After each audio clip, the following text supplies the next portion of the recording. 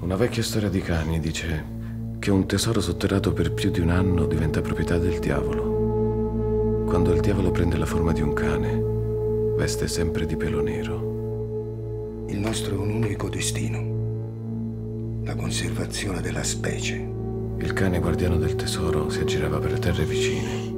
Una notte il proprietario di una di quelle terre lo curò, gli diede da mangiare e lo lasciò libero di tornare.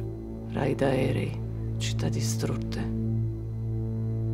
E qui la gente non sa nemmeno quello che sta succedendo.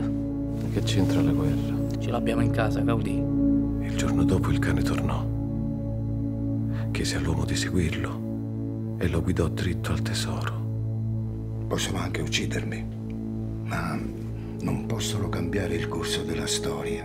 Aspettò che l'uomo lo trovasse, poi andò via, senza nemmeno chiedergli l'anima in cambio.